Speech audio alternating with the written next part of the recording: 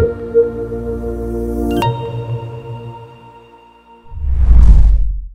Welcome back students நம்ம எல்லாரும் revision டெஸ்ட்டுக்கு ப்ரிப்பேர் பண்ணிக்கிட்டு இருப்போம்.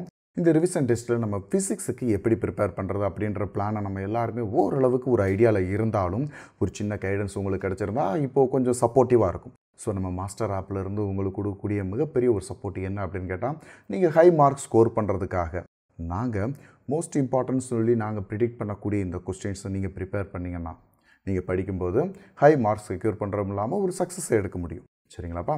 இப்போது ஃபஸ்ட்டு நம்மளுக்கு ஃபிசிக்ஸ் அப்படின்னு பார்க்கும்போது இங்கே 70 மார்க்ஸ் டோட்டலாக நம்மளுக்கு கேட்பாங்க. நம்மளுக்கு ரிவிஷன் டெஸ்ட்டுக்கு நம்மளுக்கு ஃபோர் லெசன்ஸ் நம்மளுக்கு கேட்டிருக்கிறாங்க. ஃபஸ்ட்டு ஃபோர் லெசன் நம்ம யூனிட்டில் ஃபஸ்ட்டு ஃபோர் லெசன்ஸை நம்மளுக்கு இந்த ஃபஸ்ட்டு ரிவிஷன் டெஸ்ட்டுக்கு கேட்குறாங்க. அந்த ஃபஸ்ட்டு ரிவிஷன் டெஸ்ட்டில் ஒன் மார்க்ஸ் அப்படின்னு பார்க்கும்போது ஃபிஃப்டீன் ஒன் மார்க்ஸ் நம்மளுக்கு கேட்பாங்கப்பா. சரிங்களா? இந்த fifteen one மார்க்ஸில் around ten one marks book பேக்கில் இருந்து வர்றதுக்கு சான்சஸ் அதிகம். இந்த டென் ஒன் மார்க்ஸ் போக மீதி இருக்கக்கூடிய கொஸ்டின் டென் மார்க்ஸ் தானா சார் அப்படின்னு கேட்டால் டென்னாக இருக்கலாம் எயிட்டாக இருக்கலாம் மேபி டுவெல்லாக கூட இருக்கலாம். சரிங்களா? எவ்வளோ வேணாலும் புக் பேக்கில் கேட்கலாம். அதில் ரெடியூஸ்டு போர்ஷன் மட்டும்தான் வரும் அப்படின்லாம் கிடையாது. புக் பேக்கில் இருக்கக்கூடிய எல்லா ஒன் வேர்ட்ஸையும் படிச்சிருங்க. சரிங்களாப்பா? ஏன்னா எந்த கொஸ்டின் வேணாலும் நம்மளுக்கு சான்சஸ் இருக்குது கேட்குறதுக்கு. புக் பேக்கில் இருக்கக்கூடிய கொஸ்டின்ஸ் அப்படின்னு பார்க்கும்போது ஒவ்வொரு லெசனுக்கும் ஃபிஃப்டீன் ஒன் வேர்ட்ஸ் தான். ஒவ்வொரு லெசனுக்கும் அப்போது ஃபோர் லெசனுக்கு சேர்த்தே மொத்தம் சிக்ஸ்டி ஒன் வேர்டு அந்த சிக்ஸ்டி ஒன் வேர்ட்ஸையும் தரவாக படிச்சிருங்க. ஏன்னா அதில் இருந்து ஒரு டென் மார்க்ஸ் நம்மளுக்கு செக்யூர் பண்ணிக்கலாம். புக் இன்சைட் கொஸ்டின்ஸை நம்ம ஒன் வேர்டை நீங்கள் ஓரளவுக்கு படித்து வைங்க. அப்படி இல்லை அப்படின்னா நம்ம மாஸ்டர்ஸ் ஆப்லேயே நம்ம என்ன செஞ்சுருக்கிறோம்? நிறைய ஒன் வேர்ட்ஸ் ஒவ்வொரு வீடியோஸ்க்கும் நிறையா போட்டு வச்சுருக்கிறோம். அதை நீங்கள் கொஞ்சம் கோத்ரூ பண்ணிக்கிட்டிங்கன்னா கொஞ்சம் ஈஸியாக இருக்கும். சரிங்களாப்பா? ஸோ அப்போது ஃபிஃப்டீன் ஒன் வேர்ட்ஸ் அப்படின்றத கொஞ்சம் ஈஸியாக செக்யூர் பண்ண முடியும். நாம் இப்போ பார்க்கக்கூடியது டூ மார்க்ஸை பார்க்க போகிறோம் டூ மார்க்கில் எது இதெல்லாம் ரொம்ப இம்பார்ட்டன்ட் கொஸ்டின்ஸு அந்த கொஸ்டின்ஸு நாலு லெசன்லையும் நம்மளுக்கு எதை செலக்டிவாக எடுத்து படிக்கிறது அப்படின்ற எல்லாரும் கன்ஃபியூஷன் இருக்கும். அந்த கன்ஃபியூஷனை நம்ம சரி பண்ணுறதுக்கு தான் இப்போ என்ன செய்கிறோம் ஒவ்வொரு லெசனில் இருக்கக்கூடிய வெரி இம்பார்ட்டன்ட் அதாவது நம்மளுடைய ப்ரிடிக்ஷன்ஸ் என்ன அப்படின்றத இங்கே நம்ம சொல்கிறோம் இப்போது ஃபஸ்ட்டில் ஃபஸ்ட்டு யூனிட்னு எடுத்துக்கிட்டோம் அப்படின்னா அதில் கூலும்ஸ்லா வெக்டார் ஃபார்ம் அப்படின்றது நம்ம ஒரு டூ மார்க் கொஸ்டின் நம்ம பார்த்துருந்துருப்போம். ஒரு ஷார்ட் ஆன்சர்ஸில் நம்ம பார்த்துருப்போம் இல்லையா? அதே தமிழில் சொல்லணும்னா கூலும் விதியின் வெக்டார் வடிவத்தை எழுதி விளக்குக. அது ஒரு ரொம்ப முக்கியமான ஒரு two mark question then electrostatic potential electrostatic potential அப்படின்ற கொஸ்டினும் இந்த ரெண்டு கொஸ்டின் மோஸ்ட் இம்பார்ட்டன்ட் அப்படின்னு நம்ம சொல்லுவோம்ப்பா. தென் அந்த எலக்ட்ரோஸ்டேட்டிக் பொட்டன்ஷியல் அப்படின்னா நிலை மின்னழுத்தம். நிலை மின்னழுத்தத்தை வரையிறு அப்படின்னு சொல்லுவோம். ஈக்கு பொட்டன்ஷியல் சர்ஃபேஸ் இந்த ஈக்கு பொட்டன்ஷியல் சர்ஃபேஸும் ரொம்ப முக்கியமான ஒரு கொஷின் தான்.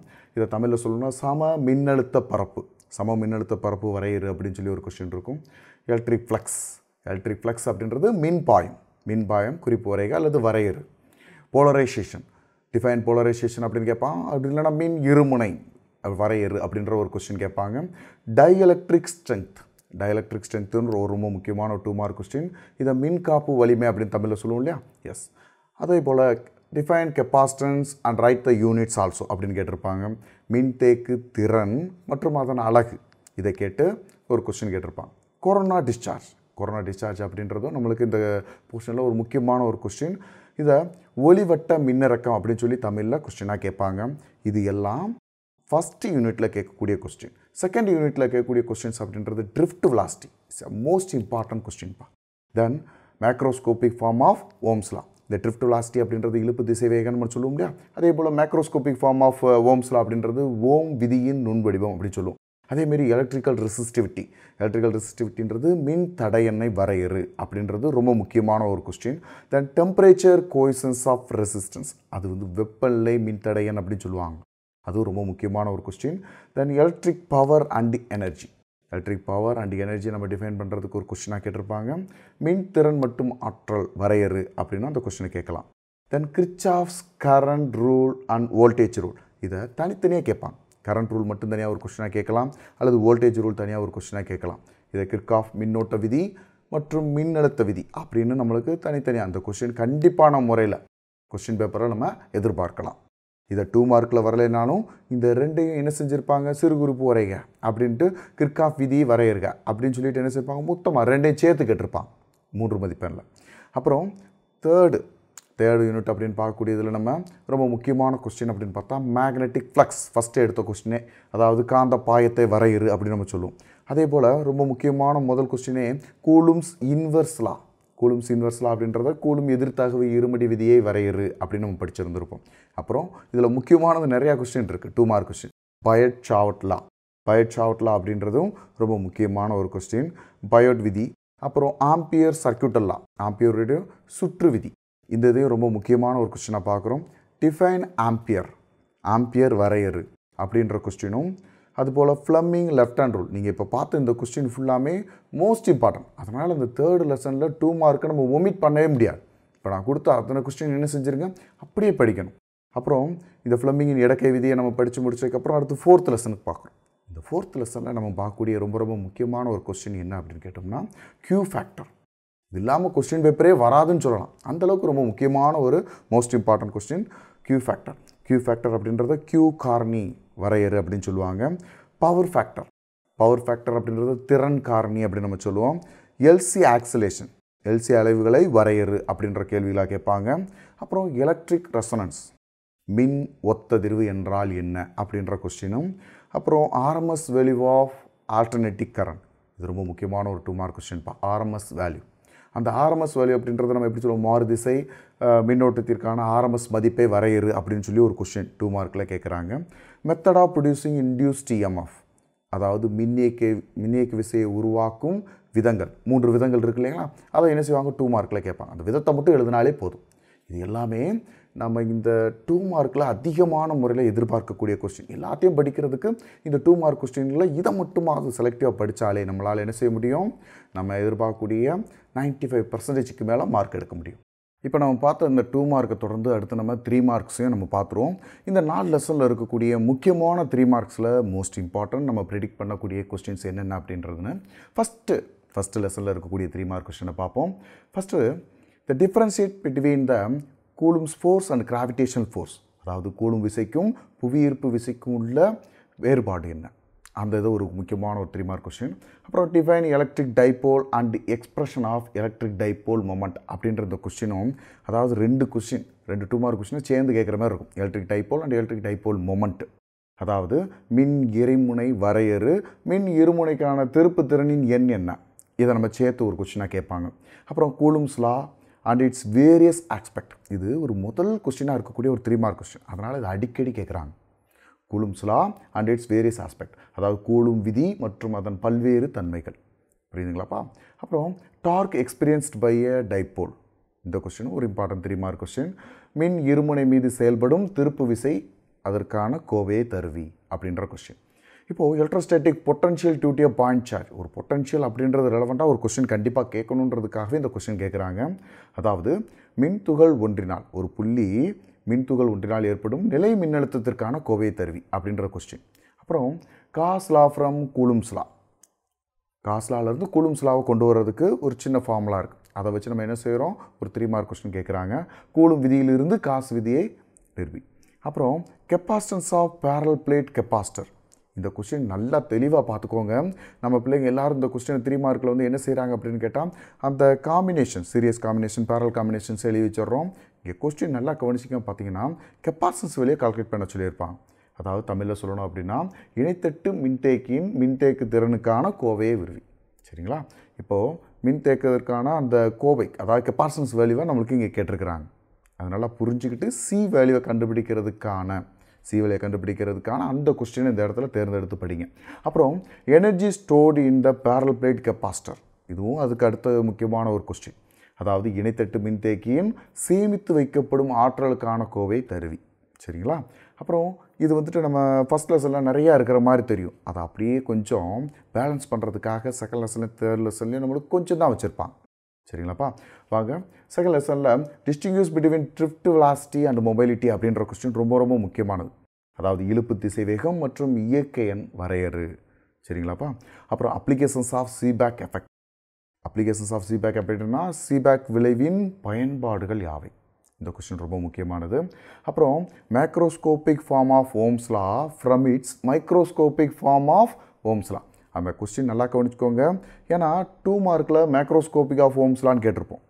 ஃபைவ் மார்க்கில் இனிமேல் நம்ம மைக்ரோஸ்கோபிக் ஆஃப் ஓம்ஸ்லாம் தனியாக டிஸ்கிரிப்ட் ஒரு டெரிவேஷன்ஸ் எழுதுவோம். ஆனால் இந்த இடத்துல மைக்ரோஸ்கோபிக் ஃபார்மில் இருந்து மைக்ரோஸ்கோபிக் ஃபார்ம் எழுதக்கூடிய அந்த டெரிவேஷனை கேட்டிருக்கிறோம். இதுதான் த்ரீ மார்க் சி இதை ஓம் விதியின் நுண்மாதிரி வடிவத்தை அந்த அமைப்பை ஓம் விதியின் பயன்பாட்டு வடிவத்தில் தருவி அப்படின்ற கொஸ்டின் இது. அப்புறம் determination of internal resistance of a cell using by voltmeter புரிஞ்சுங்களா இந்த கொஸ்டினை வோல்ட்மீட்டரை பயன்படுத்தி மின்கலத்தின் அக மின்தடையை காண்க அப்படின்னு தமிழில் கேட்பாங்க. இன்டர்னல் ரெசிஸ்டன்ஸை கால்குலேட் பண்ணக்கூடிய ஒரு இம்பார்ட்டன்ட் கொஸ்டின் ரொம்ப ஈஸியான டெரிவேஷன் தான்.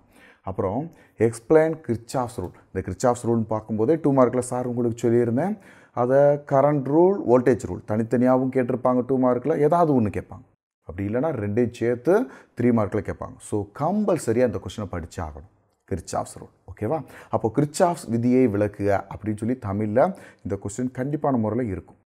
அப்புறம் தேர்ட் லெசனில் ரொம்ப மோஸ்ட் இம்பார்ட்டன்ட் அண்ட் ரெண்டே ரெண்டு மட்டும் தெரியுமா இருக்கக்கூடிய கொஸ்டின் என்ன அப்படின்னா மேண்டிக் லாரன்ஸ் ஃபோர்ஸ் அதாவது காந்தவியலில் லாரன்ஸ் விதியை தருவி அப்புறம் state and prove the Coulomb's inverse square law in magnetism அதாவது கூலும் எதிர்த்தகவு இருமடி விதியை விவரி அப்படின்ற இந்த ரெண்டு கொஸ்டின் தான்ப்பா. தேர்ட் லெசன் அப்போ ஃபஸ்ட் லெசனில் நம்மளுக்கு நிறையா கொஸ்டின் இருந்ததுலேருந்து நம்மளுக்கு என்ன செய்வாங்க? அதிகமான வாய்ப்பு இருக்குது சரிங்களா? Two or three more questions கூட கேட்குறதுக்கு வாய்ப்பு இருக்குது தென் ஃபோர்த் லெசனில் ஃபோர்த் லெசன்லையும் ஃபஸ்ட் லெசன் மாதிரி கொஞ்சம் இம்பார்ட்டன்ஸ் த்ரீ மார்க் நிறையா இருக்குது அதில் இம்பார்ட்டன்ஸில் ரொம்ப மோஸ்ட் இம்பார்ட்டன்ட் அப்படின்றது motional EMF from Lorentz force அதாவது லாரன்ஸ் விசையிலிருந்து இயக்க மின்னியக்கு விசையை கண்டுபிடி. சரிங்களா? இது ஒரு முக்கியமான ஒரு கொஸ்டின் அடுத்து step up and step down transformer அதாவது ஏற்று மற்றும் இறங்கு மின்மாற்றிகள் பற்றி விளக்குக. சரிங்களா? இது வந்துட்டு கொஞ்சம் பிள்ளைகளுக்கு எளிமையாக இருக்கணுன்றக்காண்டி இந்த கொஸ்டினை கேட்குறாங்க அடிக்கடி. அப்புறம் self inductance of coil and physical significance அதாவது தன்மீன் தூண்டல் என்ன பற்றி நீ புரிந்து கொண்டதை விவரி அப்படின்ட்டு என்ன செஞ்சுருப்பாங்க? அதோடைய குறிப்பு மட்டும் கேட்டிருக்கிறாங்க. அப்புறம் இண்டக்டர் ஆஃப் இண்டக்டன்ஸ் எல் அதில் ஹோ மச் எனர்ஜி ஸ்டோர் அதாவது ஒரு இண்டக்டர்ஸ் தன்மீன் தூண்டல் அப்படின்னு நம்ம சொல்கிறோம் பார்த்தீங்களா அந்த எல்லின் மதிப்பில் எவ்வளோ ஆற்றலாக சேமித்து வைக்க முடியுன்ற கொஸ்டின் ரொம்ப ரொம்ப முக்கியமான ஒரு கொஸ்டின் அப்புறம் இந்த induced an EMF by changing the area of the enclosed by the coil அது ஏரியாவை சேஞ்ச் பண்ணுறது மூலமாக இன்டியூஸ்ட் இஎம்எஃப் உருவாகும் பார்த்தீங்களா அதை நம்ம முக்கியமான தெரியுமா? ஒரு கொஸ்டின் கூட நம்ம வீடியோவில் பார்த்துருக்கோம். அதை தான் இங்கே அடிக்கடி கேட்டுக்கிட்டு இருக்கிறாங்க. இந்த ஃபோர்த் லெசனில் முக்கியமான தெரியுமா? ஒரு கொஸ்டினாக இதை கேட்டிருக்கிறாங்க. சரிங்களா? இதை வ- எழுதும்போது இதுக்கான டயக்ராமும் சேர்த்து வரைஞ்சிருங்க. சரிங்களா? அப்புறம் இதை தமிழில் சொல்லும்போது எப்படி சொல்லுவோம்? பரப்பை மாற்றி அமைப்பதன் மூலமாக மின்னியக்கு விசையை உருவாக்கும் முறை. புரிஞ்சுங்களா? அப்புறம் எனர்ஜி லாசஸ் இன் டிரான்ஸ்ஃபார்மர் இது கொஞ்சம் அப்படியே தியரியாக இருக்கும். அதனால இந்த கொஸ்டின் அடிக்கடி கேட்குறான். எனர்ஜி லாசஸ் இன் டிரான்ஸ்ஃபார்மர் அப்படின்றத மின் மாற்றியில் ஏற்படும் ஆற்றல் இழப்புகளை தருவி. சரிங்களா? அப்போ நம்மளுக்கு முக்கியமாக மூன்று இழப்புகள் நம்ம வந்து எக்ஸ்பிளைன் பண்ணுவோம். சரிங்களா? அதை சொல்லிடுங்க அப்புறம் average power of AC over a cycle அதாவது ஏசி சுற்றில் சராசரி திறனுக்கான கோவை தருவி. இது ஒரு முக்கியமான ஒரு கொஸ்டின்ப்பா அப்புறமா ஃபைனலாக the total energy is converted during LC oscillations அதாவது எல்சி அளவுகளின் போது மொத்த ஆற்றல் மாறுபடாது என்பதை நிரூபி அப்படின்ற இந்த கொஸ்டினும் ஃபோர்த் லெசனில் ஒரு முக்கியமான ஒரு கொஸ்டின் ரொம்ப ஈஸியான டெரிவேஷன் தான். சரிங்களாப்பா? இது எல்லாமே த்ரீ மார்க்கில் அடிக்கடி கேட்டுக்கிட்டு இருக்கக்கூடிய கொஸ்டின் மோஸ்ட் இம்பார்ட்டன்ட் கொஸ்டின் நம்ம அதிக இம்பார்ட்டன்ஸ் கொடுக்கக்கூடியது இந்த ஃபைவ் மார்க் கொஸ்டின் இப்போது ஃபஸ்ட் யூனிட் எடுத்துக்கிட்டிங்க அப்படின்னா அதில் calculate the electric field due to electric dipole in its axial line அப்படின்ற கொஸ்டின் இருக்குது பார்த்தீங்களா it's a very important detail question அதை மின் இருமுனை ஒன்றினால் ஒரு அச்சுக்கோட்டில் இருக்கக்கூடிய மின்புலத்தை கணக்கிடுக அப்படின்றதுக்கு ஒரு அச்சுக்கோடு சரிங்களா? ஒரு அச்சுக்கோடுன்னு இருக்கிறதுக்கு ஒரு தனியாக ஒரு கொஷினாக கேட்பான். ஆக்சுவலாக இது புக் பேக்கில் புக்குக்கு பின்னாடி ரெண்டு கொஷின் சேர்த்துருக்கும்.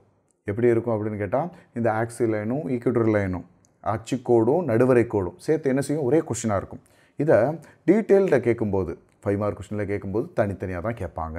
அப்படி தனித்தனியாக கேட்குறதுல மோஸ்ட் இம்பார்ட்டன்ட் அப்படின்றது இது ரெண்டுமே ஒன்றுக்கு ஒன்று எதிராக சாய்ஸ் அதாவது ஆக்சிலன் கேட்டால் ஈக்குவட்டர் லைன் கேட்க மாட்டாங்க. அப்படி ஈக்குவட்டர் லைன் கேட்டால் ஆக்சிலன் இருக்கா? ஸோ இப்படி இருக்கக்கூடிய மோஸ்ட் இம்பார்ட்டன்ட் கொஸ்டின் அப்புறம் next electric potential due to an electric dipole கொஞ்சம் கொஸ்டின் காம்ப்ளிகேட் ஆகுது அப்படின்னா அந்த கொஸ்டினில் இதைத்தான் ஃபஸ்ட்டு டீட்டெயில் கொஸ்டினாக கேட்பாங்க.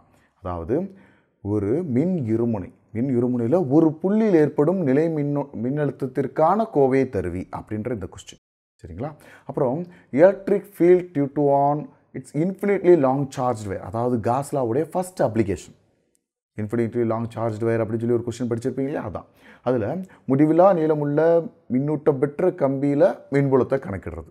சரிங்களா? இதுதான் அதோடைய கோவையை தெரிவிக்கிறதுக்கான ஒரு மிகப்பெரிய ஒரு எக்ஸ்பிரஷன் அதில் மூணு படம் இருக்கும். அதில் ஏதாவது ஒரு படத்தை வரைஞ்சிருங்க. ஏன்னா டயக்ராமுக்கு கண்டிப்பான முறையில் ஒரு மதிப்பெண் உண்டு. சரிங்களா?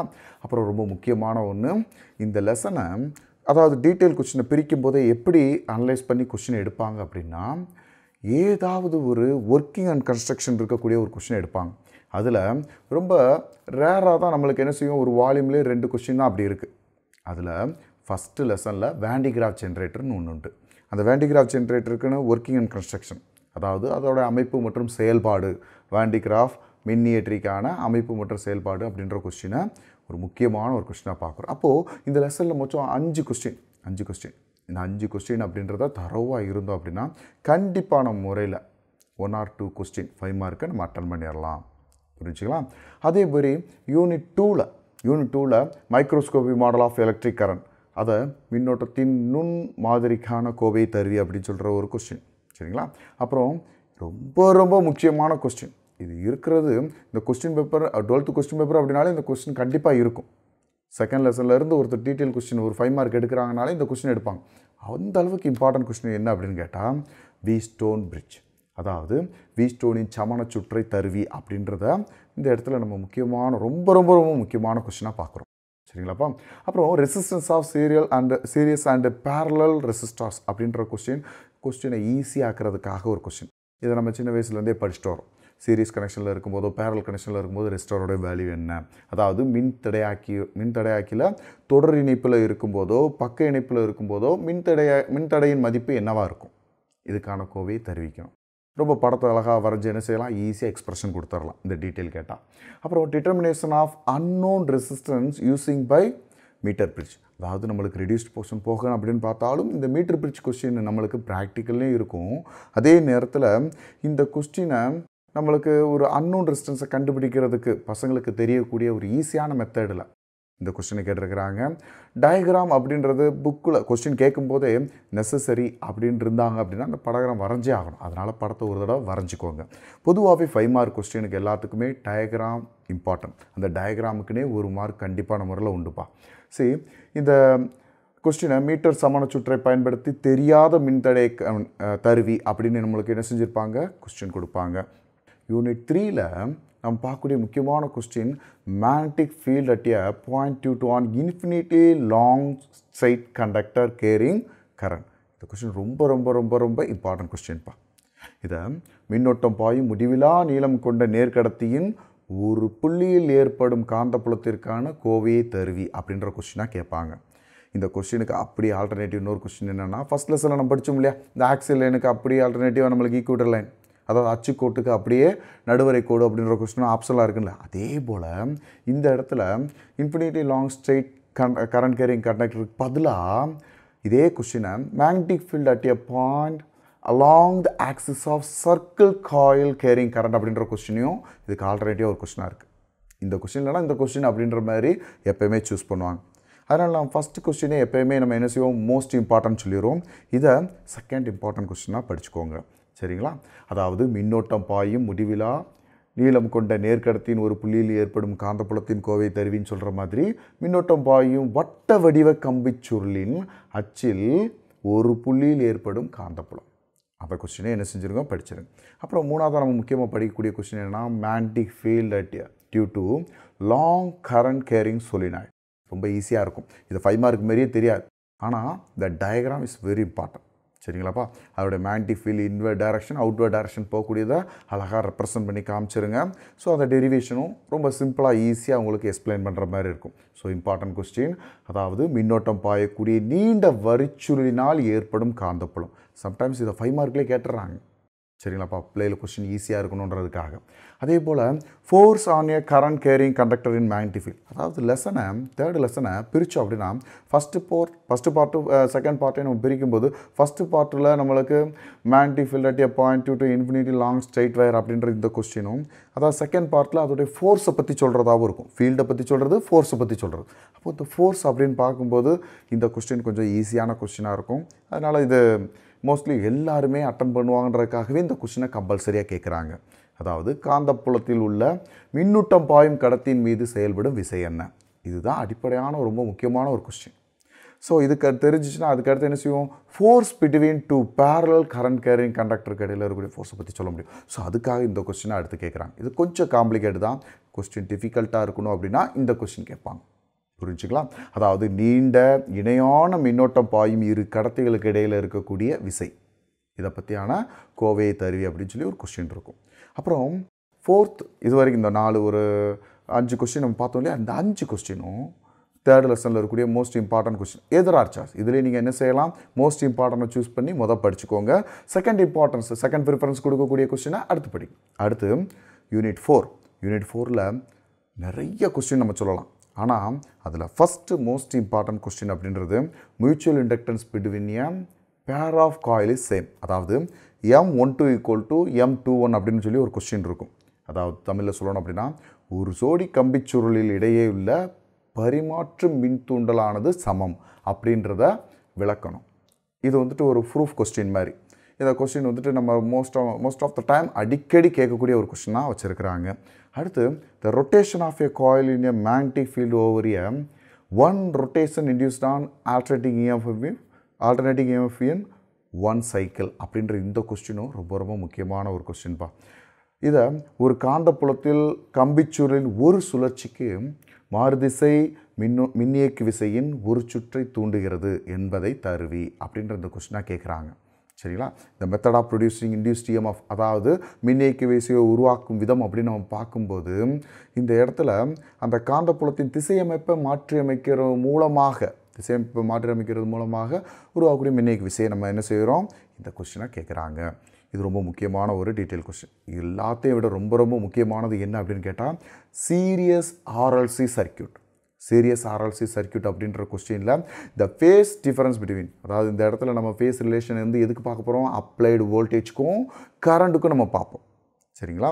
அந்த RLC circuit question is a very very important question இது தமிழில் சொல்லும்போது தொடர் ஆர்எல்சி சுற்று. அதுக்கான கட்டத்தொடர்பு. மின்னழுத்த வேறுபாடுக்கும் மின்னோட்டத்திற்கான கட்டத்தொடர்பை விவரிக்கணும். சரிங்களாப்பா? அதில் குறிப்பிட்டு சொல்லணும் அப்படின்னா இன்னொரு முக்கியமான question pure inductive circuit pure inductive சர்க்கியூட்க்கு ஒரு phase relationship between the voltage and current அப்படின்ற கொஷினை கேட்பாங்க. அதாவது மின்தூண்டி சுற்றில் மின்னழுத்த வேறுபாடுக்கும் மின்னோட்டத்திற்குமான கட்ட தொடர்பை விவரி அப்படின்ற கொஸ்டின் நான் ஏற்கனவே சார் உங்களுக்கு சொன்ன மாதிரி ஃபஸ்ட்டு லெசனில் ஒர்க்கிங் அண்ட் கன்ஸ்ட்ரக்ஷனுக்கு வேண்டிகிராஃப் கொஸ்டின் ஒன்று வச்சுருந்தோம் இல்லையா? அதே போல் இந்த ஃபஸ்ட்டு வால்யூம் இயற்பியலில் ஃபிசிக்ஸில் ஃபஸ்ட்டு வால்யூமில் ரெண்டு கொஸ்டின் இந்த மாதிரியான டீட்டெயில் கொஸ்டின் உண்டு. அதில் மொதல் கொஸ்டின் வேண்டிகிராஃப் மின்னியற்றின்றதை நம்ம பார்த்தோம். ரெண்டாவது இப்போ பார்க்கக்கூடியது டிரான்ஸ்ஃபார்மர் மின் மாற்றி மின் மாற்றியுடைய அதோடைய அமைப்பு செயல்பாடு. சரிங்களா? அதாவது working and construction of transformer அப்படின்ற இந்த கொஸ்டின் ஃபோர்த் லெசனில் இருக்கக்கூடிய முக்கியமான டீட்டெயில் ஒன்று அதை கேட்கல அப்படின்னா இந்த கொஸ்டினை கேட்குறதுக்கு நிறைய சான்சஸ் இருக்குது பொதுவாக கொஸ்டின் அனலைஸ் பண்ணுறவங்க இந்த working and construction question application ஓரியன்டான question அப்புறம் எக்ஸ்ப்ரெஷன் டெரிவ் பண்ணக்கூடிய இந்த கோவை தருவி அப்படின்னு சொல்கிறாங்களே இந்த மாதிரி கொஸ்டின் தான் என்ன செய்வாங்க? ஃபஸ்ட் ப்ரிஃபரன்ஸில் செலக்ட் பண்ணி எடுப்பாங்க. இந்த மூணு ஆஸ்பெக்ட்லேயும் கொஸ்டின் இருக்கணும் அப்படின்றது தான் நம்மளுக்கு முக்கியமாக கொஸ்டின் எடுக்கிறவங்களுடைய தாட்டாக இருக்கும். ஸோ நம்ம இப்போ ப்ரிடிக்ட் பண்ண இந்த கொஸ்டின்ஸ் எல்லாம் இப்போ இந்த ப்ரிடிக்ட் பண்ண கொஷின்ஸ் எல்லாமே ஓரளவுக்கு ரொம்ப ரொம்ப முக்கியமானதாகவும் நீங்கள் இதை ப்ரிப்பேர் பண்ணீங்க அப்படின்னா நைன்ட்டி ஃபைவ் பர்சன்டேஜ் கண்டிப்பாக செக்யூர் பண்ண முடியும் மார்க்கை இப்போது இந்த கொஸ்டினில் உங்களுக்கு ஏதாவது டவுட் இருந்துச்சுன்னா நம்மளுடைய மாஸ்டர் ஆப்பில் நம்ம ஆல்ரெடி எல்லா டீச்சர்ஸ் நம்ம டீச்சர்ஸ் எல்லோரும் என்ன செஞ்சுருக்கோம்? நிறைய உங்களுக்கு வீடியோஸை இண்டிவிஜுவலாக ஒவ்வொரு டாப்பிக்கும் ரெலவெண்ட்டாக கொடுத்துருக்கோம். அந்த மாஸ்டர் ஆப்பில் உங்களுக்கு திரும்ப திரும்ப அந்த கொஸ்டினை பார்த்து நீங்கள் என்ன செய்ய முடியும்? ஈஸியாக லேர்ன் பண்ணிக்கிறது மூலமாகவும் உங்கள் டவுட்டை ஈஸியாக கிளாரிஃபை பண்ணிக்கிடவே முடியும். சரிங்களாப்பா? ஸோ அப்படி நம்ம லேர்ன் பண்ணுறது மட்டும் இல்லாமல் உங்களுக்கு இதில் உங்களுக்கு ஒரு எக்ஸசைஸ்க்காக ப்ராக்டிஸ்க்காக நம்ம என்ன செஞ்சுருக்கோம் அப்படின்னா டெஸ்ட்டு நம்ம கண்டக்ட் பண்ணுறோம் ஆன்லைன் டெஸ்ட்டு நம்ம இந்த ஆப்பில் என்ன செய்கிறோம் கண்டக்ட் பண்ணுறோம் ஸோ இப்போ உங்களுக்கு எக்ஸாம் ப்ரீவியஸ் டேஸ் ஒவ்வொரு சப்ஜெக்ட்டுக்கும் நம்மளுக்கு ரெலவெண்ட்டான முறையில் இந்த ஒன் மார்க் டெஸ்ட்டாக இருக்கட்டும் அல்லது நம்மளுக்கு ஆல்ரெடி ஒரு எக்ஸசைஸ் கொஸ்டின்ஸ்லாம் நம்ம உள்ளக்க வச்சுருக்கிறோம். உங்களுக்கு ஏதாவது படிக்கிறதுக்கான ஸ்டடி மெட்டீரியல்ஸ் வேணும்னாலும் அதுக்குள்ளக்கே டாக்குமெண்ட்ஸ்குள்ளே போனீங்கன்னா உங்களுக்கு தேவையான ஸ்டடி மெட்டீரியல்ஸே உள்ளக்க இருக்கும். நம்ம புக் பேக்கில் இருக்கக்கூடிய எல்லா கொஸ்டின்ஸ்க்கான ஆன்சர் மட்டும் இல்லாமல் புக் இன்சைடு இருக்கக்கூடிய ஒன் வேர்ட்ஸ் அண்ட் கொஸ்டின் ஆன்சரும் புக் பேக்கில் இருக்குது ஸோ இதுக்கான டீப் அண்ட் ஃப்ரீ எக்ஸ்ப்ளனேஷனும் உங்களுக்கு வீடியோஸில் இருக்குது ஸோ நீங்கள் அதையும் என்ன செய்யலாம்? கோத்ரூ பண்ணலாம். தொடர்ந்து இந்த வீடியோஸை நீங்கள் பாருங்கள் இந்த வீடியோஸில் இருக்கக்கூடியதை நீங்கள் உங்களுக்கு டவுட்டெல்லாம் கிளாரிஃபை பண்ணுறதுக்கும் உங்களோட ஃப்ரெண்ட்ஸுகளுக்கு சஜஷன் பண்ணுறதுக்கும் ரொம்ப ஈஸியாக இருக்கும். இதோட ஃபஸ்ட் அட்டம்ப்டில் நீங்கள் எடுக்கக்கூடிய இந்த ஒரு கிரேட்ஃபுல்லான மார்க்ஸ் உங்களுக்கு கண்டிப்பான முறையில் ஒரு சக்ஸஸை கொடுக்கும். தேங்க்யூ